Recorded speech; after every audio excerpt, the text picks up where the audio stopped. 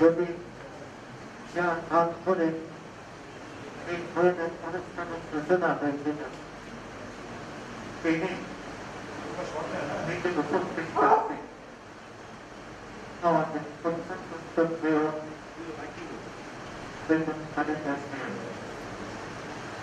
দেশের মৃত্যু মাতা গণতন্ত্রের জননে বর্তমানে ষড়যন্ত্রমূলক প্রক্রিয়ায় তিনি দাদারা তিনি উপস্থিত থাকবেন অত্যন্ত আনন্দজনক আনন্দ ঘন আরও উজ্জ্বলতা অনুষ্ঠানে উপস্থিত থাকবেন তার প্রতি শ্রদ্ধা জানেন কয়েকটা কথা বলতে চাই যে দেশে আমরা এই অনুষ্ঠান করছি গৌতম বুদ্ধ এই উপমহাদেশের শ্রেষ্ঠতম সন্তান অত্যন্ত গৌরবজনক ব্যক্তিত্ব তাকেও আমরা শ্রদ্ধার চোখে দেখি বাংলাদেশ এমন একটা জনসাধারণ একটা জনপদ যাকে আমি নিজে অসাম্প্রদায়িক বলি সম্প্রদায় অর্থাৎ সম্প্রদায় নিজেদের চিন্তা চেতনা ধর্ম বুদ্ধে নিজেরা বসবাস করছেন এবং বসবাস করছেন হাজার বছর ধরে তাদের সার্বভৌম বাংলাদেশের জন্য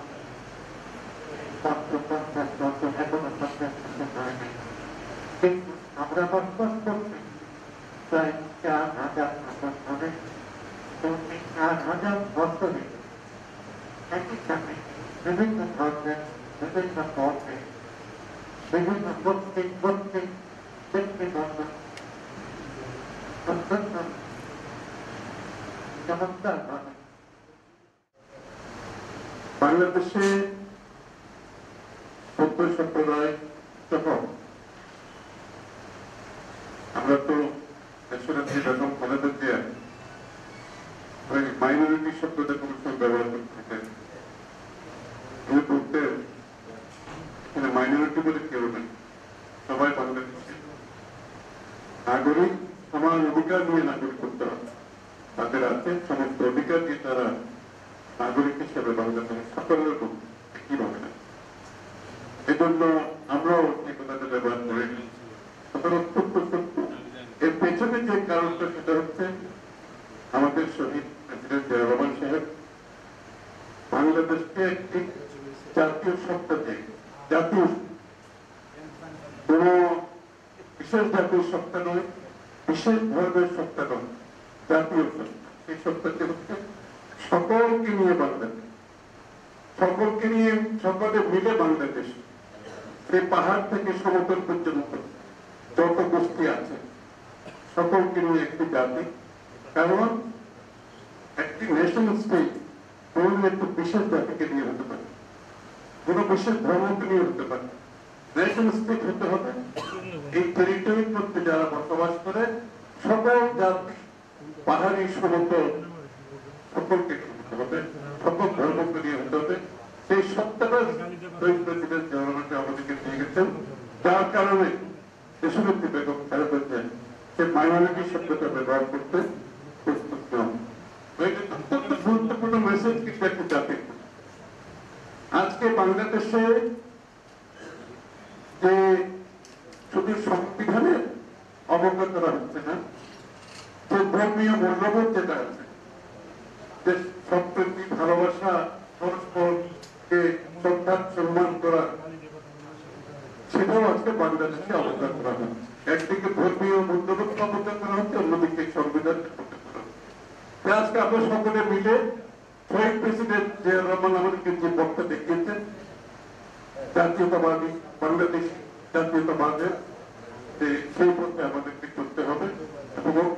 হবে আমাদের জাতিকে মুক্ত করতে হবে আনতে হবে মুক্ত করতে হবে।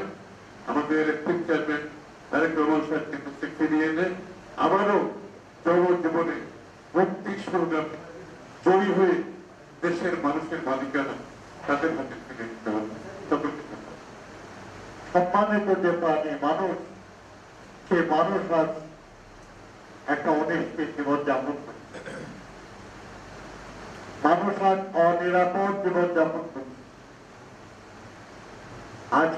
খেতে ধানে আগুন দিয়ে দিচ্ছে কৃষক। আর শ্রমিক তার কারখানা ছেড়ে রাস্তায় নেমেছে। আজ আমাদের মা বোনরা তাদেরকে রক্ষা করতে না পেরে যে আগুন দিয়ে আত্মহত্যা করছে। মেয়ের মর্যাদা রক্ষা করতে না পেরে মেয়ের বাবা মেয়েকে নিয়ে গাড়ির নিচে নাম দিয়ে পড়ে মরে যাচ্ছে। আজকে সেই এক অবস্থায় আজ বিশ্বাস করি যে বন্ধুর রহমান যারা বিশ্বাস করেন, তারাই সবচেয়ে বেশি ক্ষুব্ধ। কারণ অশান্তি বিরাজ করছে। যে কেউ এর বিরুদ্ধে একটু কথা বলতে গেলে তার বিরুদ্ধে ডায়েরি মামলা হবে। আপনার জীবনেও হয়তো পটুয়াখালী যান নাই পটুয়াখালী কোনো এক মামলা আপনাকে আসামি করে দেওয়া হবে। এরকম একটা পরিস্থিতি থেকে অতিক্রম করতে হলে আমাদের দরকার একটা শক্তিশালী আন্দোলন এবং কার্যকর লড়াই। গণতন্ত্র ফিরিয়ে নিয়ে আসার জন্য। আর সেটা করতে হলে তার নেতৃত্ব দিতে সবচেয়ে যোগ্য ব্যক্তি যিনি আছেন, তিনি হলেন বেগম খালেদা। তিনি কারাগারে তার মুক্তির ব্যবস্থা করা না হলে তার নেতৃত্ব ছাড়া এই লড়াই সফল করার মুশকিল কাজে আজকে এই বিশেষ দিনে এখন আমরা যার যার সৃষ্টিকর্তার কাছে আমরা প্রার্থনা করি এবং শপথ গ্রহণ করি যে আমরা আন্দোলনের মাধ্যমে গণতন্ত্রের মা দেশনেত্রীকে ফিরিয়ে আনব মুক্ত করব এবং তার নেতৃত্বে গণতন্ত্র অর্থাৎ জনগণের কাছে দায়বদ্ধ সরকার প্রতিষ্ঠা করব এবং জনগণ যাতে সুখে শান্তিতে জীবন নির্বাহ করতে পারে। আপনাদের যে আকাঙ্ক্ষা, প্রার্থনা জগতের জগতের সকল প্রাণী, বিশেষ করে মানুষ যেন সুখে থাকে সে ব্যবস্থা আমরা করব আপনাদের সবাইকে ধন্যবাদ। সুপারসোনালয়ে ছিল তখন আমার তখন আমার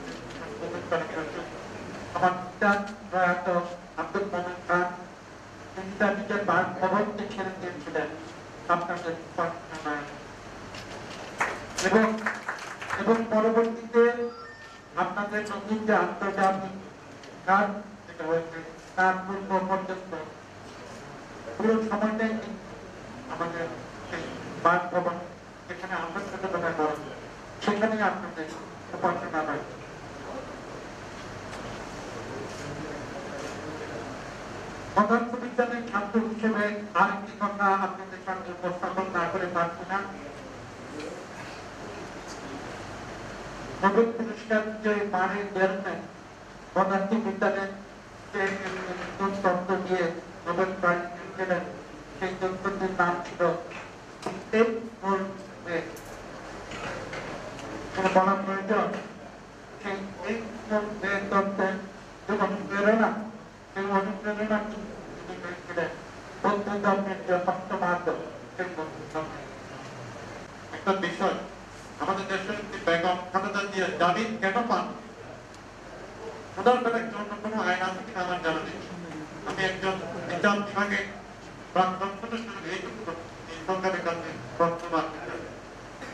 আমি আমার প্রশ্ন দীর্ঘায়িত করব না আপনার সবাই বন্ধুদের ধারণ করছি যদিও বক্তব্য ছিল আমাদেরকে চমকর একটা প্রধান দিন আমরা ধারণ করব এই জন্য আমরা গত বছর থেকে আপনাদের কাছে শ্রী বেগম খালেদা জিয়াকে আমরা এখন মুক্তিবাদ করতে পারি এটা জবাব দেন আমি আশা করব আন্দোলনের মাধ্যমে হোক যেভাবে হোক আমাদের দেশের শ্রী বেগম খালেদা জিয়াকে মুক্ত করে গণতন্ত্রকে ফিরিয়ে আনবে এই প্রত্যাশা আমরা প্রধানমন্ত্রীর কাছে প্রার্থনা করি উনি তাড়াতাড়ি মুক্তি কর্মী আমাদের মাতৃজন এবং আমাদের senior vice chairman active chairperson Tarique Rahman শক্তি করতে গণতন্ত্র আজকের এই সভাপতি সম্মেলনে এই রচনা করি আমার বক্তব্য এখানে শেষ করছি ডক্টর ডক্টর জগদান্ত জগতের ভগবান এই পৃথিবীতে একটি সাম্যের ধর্ম শান্তির ধর্ম এবং সকল প্রাণী সুখে থাকুক এই মন্ত্রকে প্রতিষ্ঠিত করার জন্য এই পৃথিবীতে একটি ধর্ম প্রতিষ্ঠা করেছেন। সেই জন্য আজকে আমরা প্রথমে তাকে শ্রদ্ধা জানাব। আমি আজকে আমাদের দলের চেয়ারপারসন তিন তিনবারের প্রধানমন্ত্রী গণতন্ত্রের মা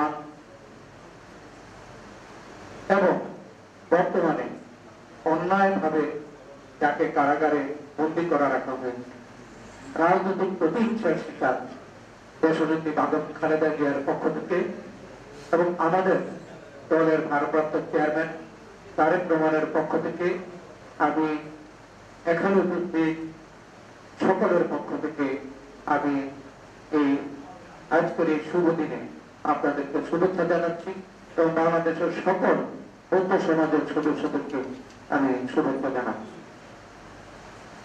আজকে অত্যন্ত ভারাক্রান্ত মনে আমরা এখানে উপস্থিত, যিনি এই ধরনের একটি অনুষ্ঠান মত বিনিময় বা রিসেপশন বৌদ্ধ সমাজকে এই পবিত্র দিনে বুদ্ধ পূর্ণিমার আপনাদের অত্যন্ত গৌরবের দিনে। তিনি উদ্যোগ নিয়েছিলেন এবং যার জন্য এই অনুষ্ঠান শুরু হয়েছিল। আজকে তিনি দেশনীতি বেগম খেলাতে দেওয়া আমাদের সাথে নেই আপনারা জানেন যে তিনি একটি মিথ্যা মামলায়, যেখানে তার কোনো সম্পৃক্ততা নাই, সেখানে তাকে পাঁচ বছর সাজা দেওয়া হলো। হাইকোর্টে আসার পরে, যেখানে হাইকোর্টে সাজা দিকে যায়। তা না হয়ে দশ বছর হলো আরেকটিতে সাত বছর হলো ইত্যাদি এগুলো আসলে দেখানো হচ্ছে বিচারের মাধ্যমে দেশনেত্রী কারাগারে রাখা। আসলে আপনারা কিছুদিন আগে দেশের প্রধানমন্ত্রী একটি বক্তব্য, সেটা এই সোশ্যাল মিডিয়ার মাধ্যমে ভাইরাল হয়ে সকলেই জানেন প্রধানমন্ত্রী নিজে বলেছেন যে বিএনপির ভারপ্রাপ্ত চেয়ারম্যান, তারেক রহমান যদি সংযত না হয়, তাহলে তার মা, অর্থাৎ আমাদের ভিত্তি দেশভূতি বেগম খারাপ জিয়া সারা জীবন কারাগারে এই কথা বলার পরে তো আর আমাদের বুঝতে অসুবিধা হয় না। আমরা এতদিন পর্যন্ত যেটা বলতাম, যে দেশনেত্রী বেগম খালেদা জিয়া কোন দুর্নীতির জন্য নয়, রাজনৈতিক প্রতিহিংসার শিকার হয়ে কারাগারে আছে। আর বর্তমান প্রধানমন্ত্রীর বক্তব্য থেকে এটাই প্রমাণিত যে তিনি কোন আইনে মাধ্যমে কারাগারে নন। তিনি রাজনৈতিক প্রতিহিংসার শিকার এবং বর্তমান সরকার তাকে কারাগারে রেখেছে আমরা আজকে অত্যন্ত ব্যথিত, ভারাক্রান্ত যে আমরা তার অনুপস্থিতি, তারই এই উদ্যোগের অনুষ্ঠানকে ধারাবাহিকভাবে আমরা এটা প্রতিপালন করছি। আমি যারা এই আয়োজন করেছেন কষ্ট করেছেন তাদের, আমরা কৃতজ্ঞতা জানাই, ধন্যবাদ জানাই, যারা কষ্ট করে রাঙ্গামাটি বান্দরবন খাগড়াছড়ি থেকে এসেছেন তাদের কাছেও আমাদের দলের পক্ষ থেকে আমরা কৃতজ্ঞতা জানাচ্ছি। এখানে আলোচনা হয়েছে যে আমাদের নেতা স্বাধীনতার ঘোষক শহীদ প্রেসিডেন্ট রহমানের প্রথম এদেশের সকল জাতি গোষ্ঠী নৃ গোষ্ঠী সকল ধর্মের জনগণকে জাতীয় পরিচয় পরিচিত করেছিলেন বাংলাদেশের জাতীয়তাবাদ। আপনাদের হয়তো মনে আছে যে বর্তমানে যারা সরকারে, আওয়ামী লীগ, পার্লামেন্টে যখন স্বাধীনতার পরে প্রথম আমাদের জাতীয়তা কি হবে, সংবিধানে বাঙালি জাতীয়তাবাদ প্রস্তাব করেছিলেন, তখন এই মানবন্দ লার্মা তখন পাহাড়ি অঞ্চলের এমপি ছিলেন। তিনি তার প্রতিবাদ করেছিলেন। তিনি জানতে চেয়েছিলেন যে যদি বাংলাদেশের মানুষ যদি বাঙালি হয় বাঙালি হয়, তাহলে আমি লামা আমার পরিচয়টা কীভাবে সেই কথার উপরে কিন্তু তিনি পার্লামেন্টের থেকে তিনি ওয়াক আউট করেছিলেন। শহীদ প্রেসিডেন্ট জিয়াউর রহমান, এই যে শুধু ভাষাভিত্তিক একটি জাতীয়তার পরিচয় সেটাকে পরিবর্তন করে সংবিধানে এদেশের সকল ধর্ম বর্ণ গোষ্ঠী নৃ গোষ্ঠী সকলকে সমান অধিকার দিয়ে তাদের পরিচয় দিয়ে গিয়েছিলেন বাংলাদেশে। এবং সেই বাংলাদেশের জাতীয়তাবাদী কিন্তু মাধ্যমে এদেশে সকল ধর্ম, বর্ণের মানুষ সমান অধিকার লাভ করেছে। আপনারা জানেন এখানেও বলা হয়েছে শহীদ প্রেসিডেন্ট জিয়াউর রহমান অতীশ দীপঙ্করের সেই প্রশ্ন, বাংলাদেশে এনে এই বৌদ্ধ সম্প্রদায়ের প্রতি কি পরিমাণ সম্মান প্রদর্শন করেছিলেন আপনারা জানেন যে তিনি চট্টগ্রামে বৌদ্ধ বিহারের ব্যাপারে কি উদ্যোগ নিয়েছিলেন আমাদের নেত্রী দেশনেত্রী বেগম খালেদা জিয়া এই বার্তায় যে আন্তর্জাতিক বৌদ্ধ বিহার জায়গা থেকে শুরু করে তার কাজ থেকে করে, উনি কিন্তু এটা উদ্বোধন করেছিলেন আমি কিন্তু উপস্থিত ছিলাম। অর্থাৎ বাংলাদেশের সকল ধর্মের সকল যে গোষ্ঠী, সকলের সমানভাবে উন্নতি এবং সকলের সম্মান, সমান, সেটা বাংলাদেশ জাতীয়তাবাদী দল বিশ্বাস করে। আমরা বিশ্বাস করি যে সকল ধর্ম বিশ্বাস, এটা আমাদের বিশ্বাস।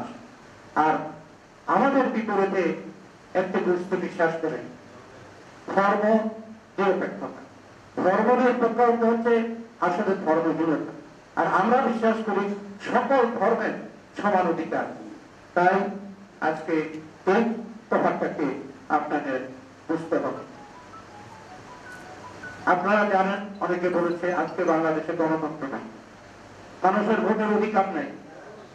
তিরিশে ডিসেম্বর যে নির্বাচন হওয়ার কথা ছিল উনত্রিশ তারিখ রাত্রিতে তা ডাকাতি হয়ে গেছে যদি একটি দেশে গণতন্ত্র না থাকে, মানুষের অধিকার না থাকে, তাহলে ধর্মকর্মের অধিকার কীভাবে থাকে?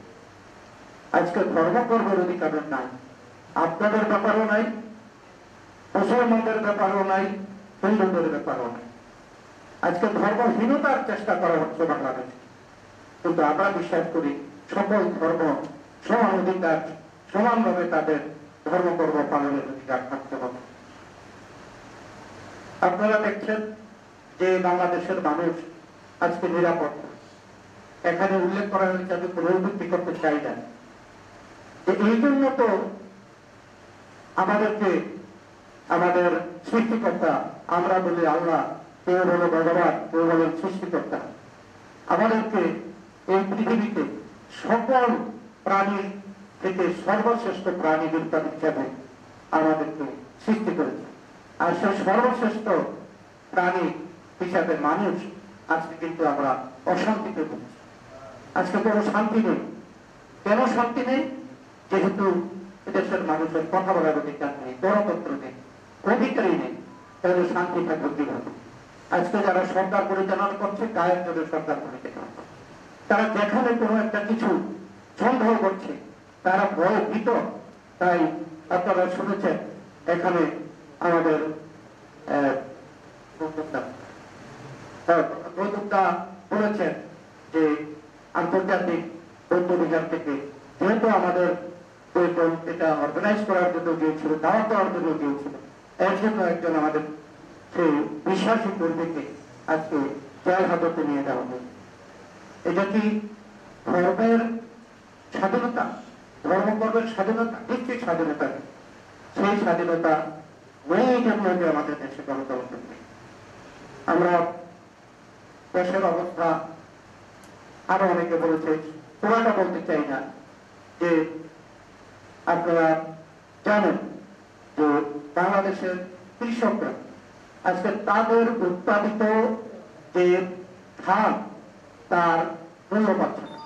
মূল্য না পাওয়ার কারণে তাদের সেই ধান পাকা ধান জমিতে পুড়িয়ে ফেলা এটা আমাদের বাংলাদেশে এটা খুবই অশুভ সংকেত কেননা আমাদের বাংলাদেশ কিন্তু কৃষি নির্ভর দেশ এবং আমরা এখানে চাউল হচ্ছে আমাদের প্রধান খাদ্য। আর সেই দেশে কৃষকরা ধানের খেতে টাকা দাম উড়িয়ে দিচ্ছে, এটা ছোট করে দেখার সুযোগ নেই।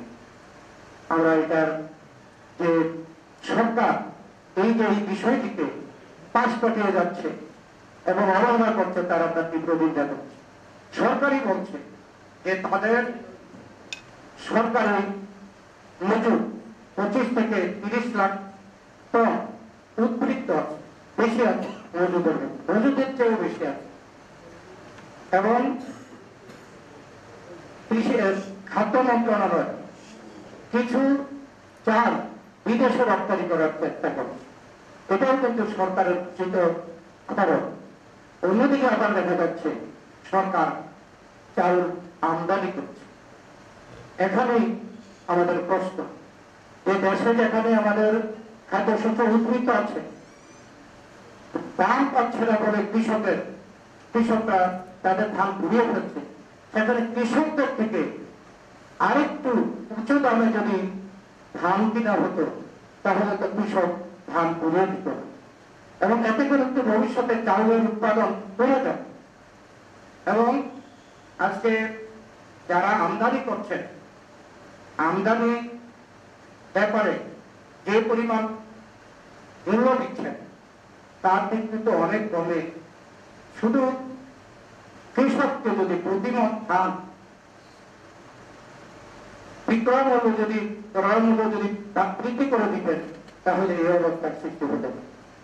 তবে গুঞ্জন আছে যে যেখানে আমাদের মজুদ বেশি আছে, তাহলে আমদানি হচ্ছে আমদানি হচ্ছে আসলে যেটা গুঞ্জন তা হচ্ছে এখানে ইনভেস্ট করে বাংলাদেশ থেকে যারা টাকা বিদেশে পাচার করে দিতে চাচ্ছে, তাদের সুযোগ করে দেওয়ার জন্য এই চাউল আমদানি আজকে ঘটনা ঘটছে অর্থাৎ আপনারা দেখছেন যে ব্যাংক লুট হচ্ছে রিজার্ভ লুট হচ্ছে শেয়ার বাজারে লুট হচ্ছে, বড় বড় প্রজেক্টের নামে।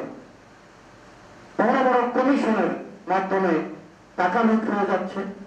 এখন খাদ্য দ্রব্য যেখানে আমাদের উদ্বৃত্ত আছে, কৃষক যেখানে মাঠে ধান কুড়িয়ে ফেলছে মূল্য পায় না বলে, সেখানে প্রযুক্তিক বিদেশ থেকে আমদানি হয়, যদি সেখানে সেই ধরনের ষড়যন্ত্র না থাকে, টাকা পাঠানোর ষড়যন্ত্র না থাকে অনাদিন বয়স করে উকিল লাভ করার পরিবেশনটি না থাকে। আর যারা করছেন, তারা আপনারা খবর নিয়ে দেখেন। তারা হচ্ছে বর্তমান সরকারের ব্যবসায়ী সমর্থিত ব্যবসায়ী। আমি শুধু এই কথাটি বললাম এই জন্য যে সরকার যেভাবে চালাচ্ছে। এটা একটা অত্যন্ত সংকটময় অবস্থা দিয়ে বাংলাদেশ আজকে অতিক্রম করছে। যেহেতু তাদের নৈতিক অধিকার নয় দেশ পরিচালনায়, সেই জন্য তারা সবকিছুই অনৈতিক অস্বাভাবিক এই সরকার অস্বাভাবিকভাবে প্রতিষ্ঠিত, সব কাজ অস্বাভাবিক আমাদের কিছু কিছু পত্রপত্রিকায় লিখেন যে বাংলাদেশ জাতীয়তাবাদী দলের সম্পদ। আমি বলতে চাই, বাংলাদেশ জাতীয়তাবাদী দলের সম্পদ নয়, সারা বাংলাদেশের সম্পদ সরকারের মধ্যে বেশি সংকট আজকে বাংলাদেশকে একটি অকার্যকর রাষ্ট্রে পরিণত করতে দেশ, এই বাংলাদেশ, এই সরকার। এই সরকারের মধ্যে সংকট আমাদের নেতৃত্ব সম্বন্ধে অনেকে প্রশ্ন করেন। আমরা বলতে চাই, পরিষ্কার আমাদের নিত্য এবং খালেদা যে আমাদের চেয়ারম্যান তার আমাদের ইশারায় এবং ভারপ্রাপ্ত চেয়ারম্যান তারেক রহমানের সরাসরি নেতৃত্বে আমরা যারা আমাদের জাতীয়তাবাদী দলের স্থায়ী কমিটির সদস্য আছি, তাদের যৌথ সিদ্ধান্তে বাংলাদেশ বা জাতীয়তাবাদী দল পরিচালিত হচ্ছে। আজকে যারা নিজেরা ভয় পাচ্ছেন যেহেতু জনসমর্থন তাদের নেই তারা আজকে বিএনপি সম্পর্কে সেই ধরনের কথাবার্তা বলছেন একজন নেতা বলেছিলেন, সেই জন্য আমি বলছি। আমি আপনাদেরকে বলতে চাই যে বিএনপি ঠিক আগের মতোই জনগণের যে সমর্থন ছিল, তার থেকে এই সরকারের দুঃশাসনের কারণে, অন্যায় কারণে, অত্যাচারের কারণে, নির্যাতনের কারণে আরও বিএনপির জনসমর্থন বৃদ্ধি পাচ্ছে ইনশাল্লাহ বিএনপি সংগঠিত হওয়ার জন্য প্রক্রিয়া চালাচ্ছে। বিএনপি পুনরায় সংগঠিত হয়ে ঘুরে দাঁড়াবে এবং এদেশে গণতন্ত্র গড়ে প্রতিষ্ঠা করবে আর গণতন্ত্রের মা দেশনেত্রী এবং খালেদা জিয়াকে মুক্ত করা ছাড়া গণতন্ত্র মুক্তি সম্ভব নয়।